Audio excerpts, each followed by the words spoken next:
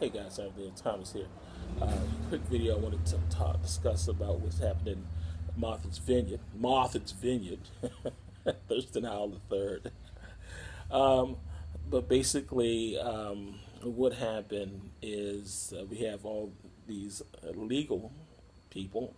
I'm not gonna call them immigrants; they're illegal. They illegally walk their butts across the border. They're not supposed to be here what do you call somebody who's not supposed to be here? They're illegal. They ain't not gonna come to your house. They're gonna come to my house, they're gonna be called out. But anyway, they come across the border. Joe Biden, your boy, and also Kamala Harris, your girl. You voted for these people, and you let all these people come on, come on in. Say, well, the, the border secure. Yes, it sure is secure. We got four million people walk across the border. We got all these situations going on down down in southern Texas. My heart goes out to those people in Texas and Florida and Arizona because they because it's a mess. this is it's total chaos. Uh, and they're gonna try to flip. to Oh, oh, uh, Donald Trump. Uh, the border wasn't secure. okay, so he so it wasn't secure. So we're gonna put your definition of secure is, and your definition is definitely not good because you got problem happened up in Martha's Vineyard. So, Governor DeSantis, thank God for him, he said, okay, all right, we're going to send these people up to Martha's Vineyard, okay, where the, where the rich people live at, okay. I live in the hood. Ain't no rich people around here. All I see is strife, okay. But the rich people, and the majority of them are white people, okay they gonna get on their high horse. Uh, Black Lives Matter, uh, LGBTQ, all this sort of stuff. Yeah, the social justice, all this. Yes, um, they and we got tape of them saying, "Oh yeah, yeah, we gonna we gonna we support indigenous people, we support immigrants. It's gonna be a sanctuary city and sanctuary state." we got we got them. We got on the internet. so all that stuff is there. We got evidence saying that you got these people. Texas, Florida said, we don't need these people. So we're going to move these people to somewhere because they said it in their words. They want these people. Mayor DC said this. Mayor of of uh, of Chicago said we want these people, and um, Gavin Newsom, the fool um, governor up in California, said we want these people. Okay, all right, they're yours, and we're going to ship them to you. So we just so they said, well, Martha's Vineyard. They said, well, wait, we want all these people, but bring them up here. Yeah, yeah, they are people. Yeah, come on up here. So DeSantis, so DeSantis said, okay, I'm gonna give you what you want, and I'm glad he did. He dropped their asses on him, and they said, oh, wait a minute. we can't deal with this. How do you think the people down in Texas and Florida and Arizona dealing with these people? They get they get 2,000 people come in a day, and you only dealing with 50 people. Your hair's flying out. You're like, oh my God.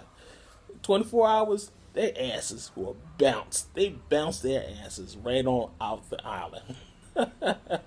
they got bounced so fast, I thought I was watching the episode of Survivor.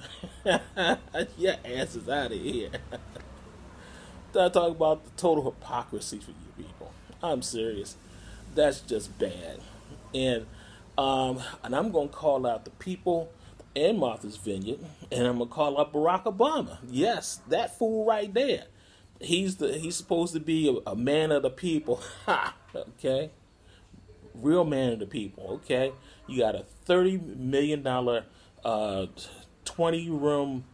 Uh, mansion up there on the on the water, okay, talking about global warming, but you're right on the beach, okay that shows me how much you care about your global warming. As long as it no immigrants hanging around there, you got it. You you got you got walls behind you, so you got your own wall. But oh my God! So I'm totally 100 percent advocate of what uh, what DeSantis did, and I hope he sends more to the to the bots because if you're gonna send up some hypocrisy bull crap, then you should live with it you can't do that.